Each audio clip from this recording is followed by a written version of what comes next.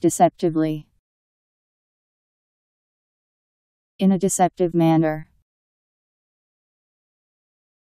D E C E P T I V E L Y. Deceptively.